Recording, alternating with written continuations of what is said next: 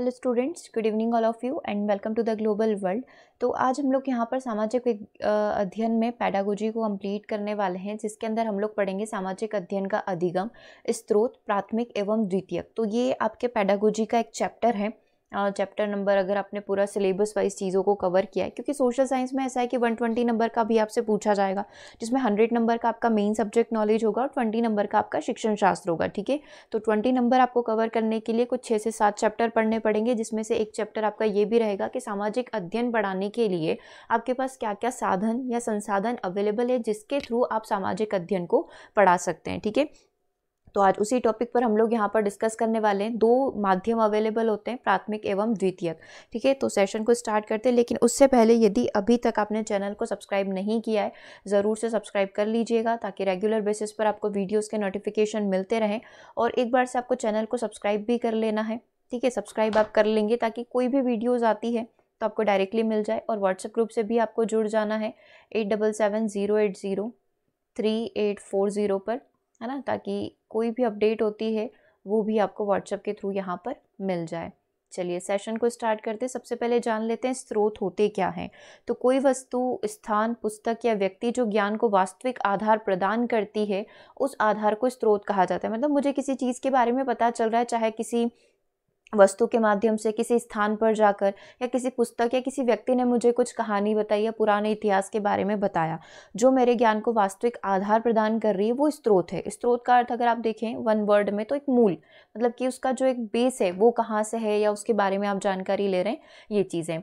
विषय का ज्ञान प्राप्त करने के लिए किसी अन्य द्वारा बताए गए अनुभवों की अपेक्षा प्रत्यक्ष अनुभव अधिक लाभदायक होते हैं। मतलब अगर आपको किसी भी सब्जेक्ट का नॉलेज चाहिए, चाहे वो साइंस सोशल साइंस मैथ्स कोई भी क्यों ना हो तो अगर आप किसी दूसरे से सुन रहे हो बजाय इसके यदि आप प्रत्यक्ष अनुभव लेते हो, जैसे कि साइंस में हो गया तो आप लैब में जाकर एक्सपेरिमेंट कर रहे हो, सोशल साइंस में हो गया तो आप जिस भी जगह के बारे में पढ़ रहे हो, उस जगह को आपने विज़िट कर लिया, किसी मूर्ति या किसी कला के बारे में आपने सुना तो उसको आप डायरेक्टली विज़िट करके आए तो डेफिनेटली वो चीज़ आपको अच्छे से याद रहेगी।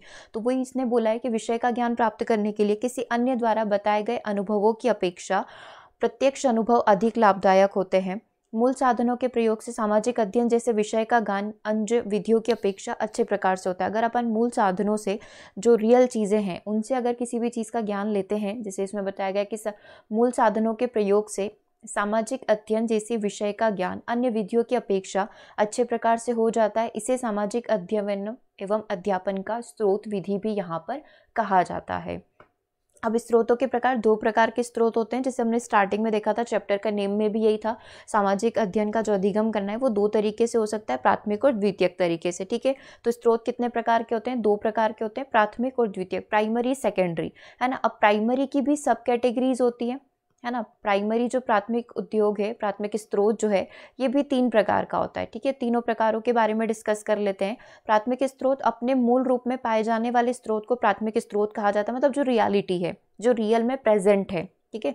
अभी आप प्राथमिक को समझो, द्वितीयक के साथ आपको पूरा क्लियर हो जाएगा कि एक्चुअल में ये डिफरेंस है क्या। है ना? जैसे द्वितीय आप किसी के माध्यम से पढ़ रहे हो, जैसे बुक हो गया तो वो सेकेंडरी होगा क्योंकि बुक में उसके बारे में जानकारी लिखी हुई है और उसके थ्रू आप रियल चीज़ों को समझने की कोशिश कर रहे हो तो बुक आपका सेकेंडरी हो गया। लेकिन जो रियलिटी जो चीज़ें मूर्त रूप में अवेलेबल है, वो आपके लिए प्राइमरी हो जाएगी, है ना? तो हमने देखा, अपने मूल रूप में पाए जाने वाले स्रोतों को प्राथमिक स्रोत कहते हैं। इसे मूल स्रोत भी कहा जाता है। प्राथमिक स्रोत तीन प्रकार के होते हैं। सबसे पहला सामग्री संबंधी या भौतिक स्रोत, जैसे कोई भी स्मारक के बारे में आपने पढ़ा, वो चीज़ आपने देख ली, है ना, जो रियल में एग्जिस्ट करती है। कोई प्रतिमा हो गई, कोई अस्त्र शस्त्र हो गए, कोई मूर्ति हो गई, कोई भग्नावेश हो गया, या फिर कोई भी यंत्र हो गया। तो ये सारे के सारे क्या है? सामग्री है और इनके बारे में आप जानकारी ले रहे हैं, जो रियल में भी है, मूल में भी है। तो ये आपके प्राथमिक स्रोत का पहला प्रकार सामग्री संबंधी या भौतिक स्रोत हो जाएगा। ठीक है, अब दूसरे की बात करते मौखिक विवरण। मौखिक विवरण मतलब आपने किसी के थ्रू सुना। जैसे कोई लोकगीत हो गया दंत कथाएँ हो गई, कहानियाँ हो गया, किसी का विवरण हो गया, कोई रीति रिवाज हो गया तो ये सारे के सारे मौखिक विवरण है, लेकिन है तो मूल ही, है ना? है तो रियल चीज़ें ही। तो दूसरा प्रकार क्या हो गया? मौखिक विवरण हो गया। अब थर्ड टाइप देखिए, लिखित अथवा मुद्रित स्त्रोत जैसे कि प्राचीन ग्रंथ हो गए है ना, जिसमें कोई चीज़ लिखी हुई है, जो अभी आप पढ़ रहे हैं या आपको उसकी जानकारी मिली, कोई पांडुलिपि होगी। आपको याद हो तो सामाजिक विज्ञान का एक सेशन हुआ था, जिसमें हमने पांडुलिपि के बारे में देखा था कि दिल्ली की सल्तनत में पांडुलिपि का ये आविष्कार हुआ था तो ये होती क्या है? जैसे कि अभी हम लोग किसी भी फ़ाइल को अपने लैपटॉप में या पेन ड्राइव में सेव करके रख लेते हैं, है ना तो ये चीज़ें सेव हो जाती है। कहीं पर भी आपने सेव कर लिया लेकिन पुराने समय में कहाँ रखते थे? तो पुराने समय में पांडुलिपि रेडी की जाती थी, जैसे कि आपने किसी भी राजा महाराजा के बारे में, जैसे अकबर के बारे में कुछ भी लिखा, है ना? तो अब ये आगे आने वाली पीढ़ियों को भी पता चलने चाहिए। आगे आने वाली जनरेशन को भी अकबर की सत्ता के बारे में या किसी भी राज शासन के बारे में पता होना चाहिए। तो ये पूरा पूरा इतिहास लिख देते थे कि इस समय ये हुआ, इस समय ये युद्ध हुआ, इसमें इसकी विजय हुई, इसमें इतना नुकसान हुआ, सारी चीज़ें। अब उसमें क्या होता था, जितने भी मेन हाईलाइटेड पॉइंट है कि पर्टिकुलर जिस राजा के शासन में लिखा गया तो डेफिनेटली उनके बड़ाई लिखी होगी। तो वो ये लिखते थे कि इसमें इन्होंने इस राज्य पर शासन किया या इस पर विजय प्राप्त करी। तो वो क्या करते थे, जो मेन मेन पॉइंट होते थे, उनको स्वर्ण अक्षरों में लिखते थे ताकि क्या करें, सब, सभी का ध्यान उस पर जाए। और ये जो लिपि होती थी पांडुलिपि ये काफ़ी डिफरेंट भी होती थी ताकि कोई भी इससे छेड़खानी नहीं कर सके, है ना? तो इस तरीके से पांडुलिपि का आविष्कार भी हुआ था। तो लिखित अथवा मुद्रित स्रोत की अभी हम लोग बात कर रहे थे। प्राचीन ग्रंथ हो सकते हैं, पांडुलिपि हो सकती है, रिपोर्ट डायरी हो सकती है, पत्र हो सकती है, संध्या हो सकती है, नियमावली हो सकती है। ये सारे के सारे प्राथमिक स्रोत में आते हैं, मूल स्रोत में आते हैं। सामाजिक अध्ययन के लिए मुख्यतः लिखित अथवा मुद्रित स्रोत की आवश्यकता पड़ती है। महात्मा बुद्ध के शब्द हैंगसंग तथा जहांगीर का वर्णन तथा अठारह की शाही घोषणा के मूल वाक्य से जैसी वास्तविकता प्राप्त कर सकते हैं, उसे अप्रत्यक्ष अध्ययन से प्राप्त नहीं किया जा सकता। मतलब इस समय इन्होंने जो भी वर्णन करे थे, जैसे जहांगीर के शासनकाल में उस समय पांडुलिपि वगैरह चलती थी, इनका जो भी बातचीत हुई है, हैंगसांग उनके आया शासनकाल में आया था तो जो भी बातचीत हुई है तो उन्होंने क्या करा, इन सारी चीज़ों को लिख दिया। अगर आप किसी के मुँह से सुनते हैं, फिर इस तरीके से चीज़ें आती तो डेफिनेटली जो रियालिटी है या जो एक्चुअल चीज़ें हुई है वो डेफिनेटली नहीं आ पाती। है ना? तो वास्तविकता का वर्णन इन सभी माध्यम से लिखित अथवा मुद्रित स्त्रोतों के माध्यम से मिलता है। जो उन्होंने उस समय लिखा, है ना? उस समय की जो कहानी थी एज इट इज़ क्या हो गई? आपके सामने आ गई है। है ना? ये चीज़ बताई गई है। उसे अप्रत्यक्ष अध्ययन से प्राप्त नहीं किया जा सकता, अतः मूल विवरण अधिक प्रामाणिक और सामाजिक तथ्यों को समझने के लिए प्रभावशाली होता है। मतलब जो मूल चीज़ें हैं, जो ओरिजिनल चीज़ें हैं, उनका होना बहुत ज़्यादा आवश्यक है। और थर्ड टाइप आपने क्या देख लिया? लिखित अथवा मुद्रित। सबसे पहला क्या हो गया? सबसे पहला है सामग्री संबंधी भौतिक स्त्रोत दूसरा मौखिक विवरण है और तीसरा लिखित अथवा मुद्रित स्त्रोत है। अच्छा आप ये सोचोगे पर्टिकुलर हमने यही चैप्टर क्यों लिया? क्योंकि स्टार्टिंग में आपको बिल्कुल बेसिक से बताया जाता है कि सामाजिक अध्ययन क्या होता है, सामाजिक विज्ञान क्या होता है, फिर इन दोनों में क्या डिफरेंस है, कैसे पढ़ाना चाहिए। लेकिन इस चैप्टर से क्या है मोस्टली क्वेश्चन जो है मुझे इस चैप्टर के दिखे। तो इसलिए हम लोग सबसे पहले इसे कवर कर रहे हैं, ठीक है? बाकी हम लोग वन बाय वन करके दूसरी चीज़ों को भी कवर कर लेंगे। आगे बात करते हैं द्वितीयक स्त्रोत की। वे सभी स्रोत जो प्राथमिक स्त्रोतों की व्याख्या या विश्लेषण करते हैं, जो हमें प्राथमिक स्त्रोतों के बारे में बताएँगे, जो हमें उस मूर्ति के बारे में बताएगा, जो हमें पांडुलिपि के बारे में बताएगा, या जो हमें उस पत्र विवरण के बारे में बताएगा, या जो हमें उस बातचीत के बारे में बताएगा, जो उस समय हुई थी, वो सब क्या कहलाएँगे? सेकेंडरी स्त्रोत कहलाएँगे, ठीक है? वास्तव में ये प्राथमिकता स्त्रोतों का क्रमबद्ध अध्ययन है। ठीक है? बाबर का कब हुआ? फिर हुमायूं, फिर अकबर की कहानी, फिर जहांगीर सलीम की कहानी, फिर अकबर टू की कहानी। तो ये इस तरीके से क्रमबद्ध चलने वाली चीज़ें किसके थ्रू पता चल रही है हमको? द्वितीय के स्रोत के थ्रू पता चल रही है। अगर आप ऐसा कहना चाहें कि द्वितीय के स्रोत प्राथमिक स्रोतों का चित्रात्मक वर्णन होता है तो बिल्कुल गलत नहीं होगा। आत्मकथाएँ, पाठ्यपुस्तकें, विश्वकोश आदि द्वितीय के स्रोत के उदाहरण हैं। सांस्कृतिक स्रोत किसी स्थान, संस्कृति या संगठन को दर्शाने वाले चित्र मूर्ति या कोई अन्य चिन्ह यहाँ पर हो सकते हैं। चलिए, अब सामाजिक अध्ययन शिक्षण में स्रोतों का उपयोग आप कैसे करेंगे? पढ़ तो लिया आपने कि प्राथमिक और द्वितीयक दो होते हैं, लेकिन इनका उपयोग आप कैसे करेंगे? प्राय विद्यार्थियों को स्रोत ज्ञान करने की विधि तथा उसकी उपयोगिता का ज्ञान नहीं होता है कि मैं किससे पढ़ूँ, कैसे पढ़ूँ, है ना? कहाँ से लेकर आऊँ इन सारी चीज़ों का? अतः टीचर का ये रिस्पॉन्सिबिलिटी बन जाती है कि वह विद्यार्थियों को स्रोत सामग्री से परिचित करवाए और इसका विवरण दे। मूल स्रोतों की उपयोगिता में विश्वास करने वाले अध्यापक विद्यार्थियों के सम्मुख स्रोतों के उपयोग का प्रदर्शन करके उन्हें यह बता सकते हैं कि विश्वसनीय ज्ञान के अर्जन में ये स्रोत किस प्रकार से उपयोगी जैसे उनको कोई चीज़ें समझनी है। तो अगर प्रेजेंट है कि हम लोग उनको रियल में ये चीज़ें दिखा सकें, उनका नॉलेज उनको दिलवा सकें तो डेफिनेटली हम लोग उसी चीज़ को प्रेफर करेंगे, क्योंकि ये चीज़ें बच्चों को रियलिटी से या पुराने समय में जो भी हमारी संस्कृति, कल्चर होता था, उससे भी कनेक्ट करेगा, राइट?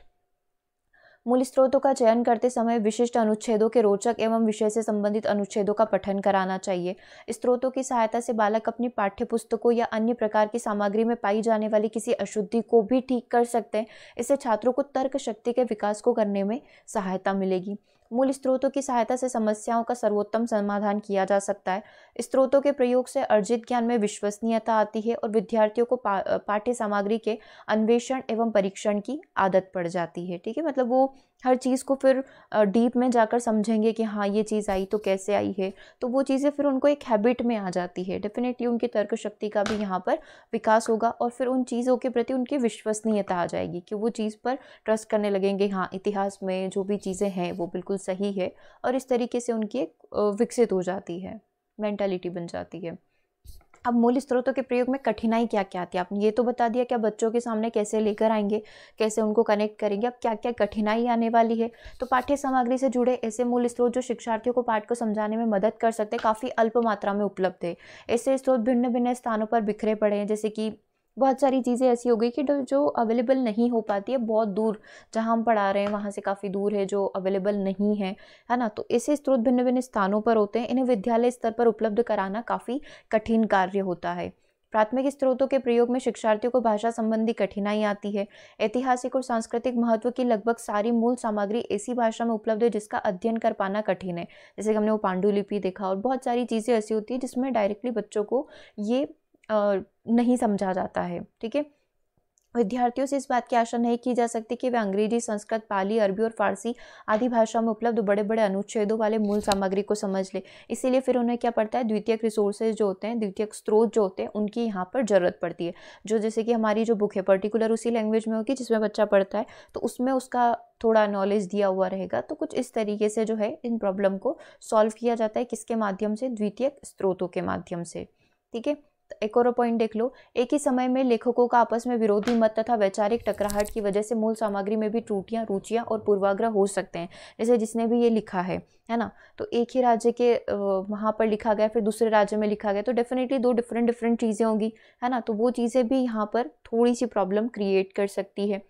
विभिन्न लेखक एक ही समय की घटनाओं अथवा आंदोलन का वर्णन अपने अपने दृष्टिकोण से भिन्न भिन्न रूप में करते हैं, जिससे विद्यार्थी एक ही घटना की अनेक व्याख्या में उलझ जाता है। ये चीज़ें आपको पता है कि आंदोलन कोई किस दृष्टि से देखता था, कोई उसको किस दृष्टि से देखता था। तो वो चीज़ें लेखकों के अनुसार यहाँ पर भिन्न भिन्न हो जाती है। तो ये मूल स्रोतों से समझने में बच्चे को थोड़ा सा प्रॉब्लम आता है है ना? चलिए अब स्त्रोत विधि जो है, अगर बच्चों को स्त्रोत विधि के थ्रू पढ़ाओगे तो क्या क्या फ़ायदे मिलेंगे? कुछ पाँच से छः फ़ायदों के बारे में हम लोग देख लेते हैं। उच्च कक्षाओं में मूल सामग्री के स्रोत की जाँच के द्वारा पाठ्य सामग्री की विश्वसनीयता सिद्ध होती है। इससे विद्यार्थियों को विश्वसनीय एवं नकल मुक्त सामग्री प्रस्तुत करने में प्रेरणा मिलती है। अगर इसके द्वारा अगर आप पढ़ाएँगे, है ना तो डेफिनेटली बच्चों के अंदर मोटिवेशन भी आएगा और वो जो नकल करने वाली जो चीज़ें हैं, वो भी यहाँ पर ख़त्म होगी। चूँकि स्रोतों से विश्वसनीयता प्रमाण की प्रकृति स्पष्ट होती है, जैसे मूल स्रोत से बच्चा पढ़ रहा है है ना? तो विश्वसनीय तो वो होगा ट्रस्टेबल तो वो होगा। अतः मूल सामग्री का प्रयोग करने वाले विद्यार्थी अनुमान तथा वास्तविकता में अंतर कर पाते हैं। तीसरा पॉइंट देखिए, विद्यार्थी केवल कही सुनी बातों पर ही विश्वास न करके प्रामाणिक सामग्री को एकत्रित करने की कोशिश करते, इससे विद्यार्थियों में प्रामाणिक बातों को पहचानने की क्षमता विकसित होती है। मूल स्रोतों के प्रयोग से वास्तविकता की भावना भी पैदा होती है। इसके द्वारा विद्यार्थियों में प्रमाणों पर आधारित तथ्यों को ग्रहण करने की आदत पड़ जाती है। जैसे हमने प्रीवियस में देखा कि बच्चा फिर इस चीज़ का हैबिटेट हो जाएगा कि उसको हाँ जो चीज़ें रियल रियल में मिल रही है, जो मूल स्रोतों में मिल रही है, वो उसी पर बिलीव करेगा और उसी से चीज़ों को सीखने की कोशिश करेगा। है ना? मूल स्रोतों के प्रयोग से विद्यार्थियों में आलोचनात्मक क्षमता क्रिटिकल थिंकिंग का डेवलपमेंट होगा और मानसिक शक्ति का भी विकास होगा। प्रसंग सहित प्राप्त किया हुआ ज्ञान विद्यार्थियों को रुचिकर लगता है। मतलब किसी कॉन्टेक्स्ट में उसने समझा है कि हाँ अगर मैं उसको आज से तीन साल बाद भी पूछूँगी तो उसको याद आ गया कि हाँ मैं पहले वहाँ पर गया था। हमने उस चीज़ के बारे में, हमने वो पूरा महल देखा, है ना? जैसे मांडू का महल ही ले लो। यूजुअली हमारे इधर के टीचर सब बच्चों को वहीं लेकर जाते हैं। तो जो मांडू है, वहाँ की पूरी जानकारी मिल जाती है। तो बच्चा पूरे टाइम उस चीज़ को याद रखता है। क्योंकि वो उस कॉन्टेक्स्ट में था, वहाँ बच्चा गया है, उसने पूरे दिन भर उसका अनुभव लिया है। है ना तो वो चीज़ दिमाग में बैठ जाती है। है ना? और ये जीवन में उसके काम आता है, इससे पढ़ाई में कमज़ोर विद्यार्थी भी विषय में रुचि लेना प्रारंभ कर देता है। तो ये सारे के सारे क्या है स्त्रोत विधि के लाभ हैं, ठीक है? चलिए, अब कुछ क्वेश्चंस हम लोग कर लेते हैं। एक से दो क्वेश्चन कंप्लीट करते हैं। निम्नलिखित में से क्या सामाजिक अध्ययन, शिक्षण प्रक्रिया की प्रकृति है? उसका सामाजिक होना, भौगोलिक होना, वैज्ञानिक होना नौनौत्य हो तो सामाजिक अध्ययन, शिक्षण की प्रक्रिया कैसी होती? है सामाजिक होती है करेक्ट आंसर क्या हो जाएगा? ऑप्शन नंबर वन हो जाएगा। क्वेश्चन नंबर टू के पास चलते हैं। निम्नलिखित में से अधिगम की कौन सी गतिविधियाँ कक्षा के बाहर आयोजित की जा सकती है? केस अध्ययन, स्थानीय दौरा, सहकारी शिक्षा या उपरोक्त सभी?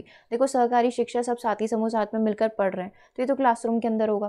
केस अध्ययन भी एक टीचर करेगा जो एक पर्टिकुलर बच्चे के ऊपर करेगा, है ना? तो केस अध्ययन केस स्टडी होता क्या है कि एक बच्चे में कोई समस्या हमको दिख रही है तो उसके स्टडी करने के लिए हम लोग पूरा उसका अध्ययन करते हैं, पूरा उसका बैकग्राउंड वगैरह चेक करते हैं। तो ये तो एक इंडिविजुअल बच्चे की बात करें तो स्थानीय दौरा या जो विज़िट होता है, वो क्लासरूम के बाहर की एक्टिविटी आउटडोर एक्टिविटीज़ को हम लोग यहाँ पर बोल सकते हैं। बी आंसर आपका करेक्ट हो जाएगा। सबसे अच्छी क्रिया जो शिक्षण अधिगम सामाजिक प्रक्रिया में योगदान देती है, वह क्या है? प्रतिबिंब, चर्चा, व्यक्तित्व अधिगम या आवृत्ति अधिगम। देखो, सबसे अच्छी शिक्षण प्रक्रिया क्या है? अगर किसी भी चीज़ को आप सीख रहे हो तो डिस्कशन करके वाद विवाद के थ्रू या चर्चा के माध्यम से सीख रहे हो तो वो सबसे बेस्ट हो जाएगा। तो करेक्ट आंसर भी क्या हो जाएगा? आपका ऑप्शन नंबर बी हो जाएगा। चर्चा सबसे बेस्ट माध्यम यहाँ पर हो सकता है। ठीक है? तो आज का शॉर्ट सेशन यहाँ पर रखा गया था। आई होप कि ये सेशन आप लोगों के लिए हेल्पफुल हो। कमेंट करके ज़रूर से बताइएगा। बाकी एन e की समरी जो है हम लोग आपको ऐप पर प्रोवाइड करवा रहे हैं। वहाँ से आप एक बार से विज़िट कर लेना, ठीक है? तो सेशन को ओवर करते हैं। मिलेंगे हम लोग नेक्स्ट सेशन में। Thanks for watching